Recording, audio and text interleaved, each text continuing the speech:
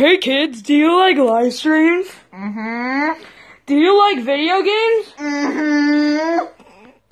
Well, come on down to Jake Plays, where I will be doing at least one live stream every single day.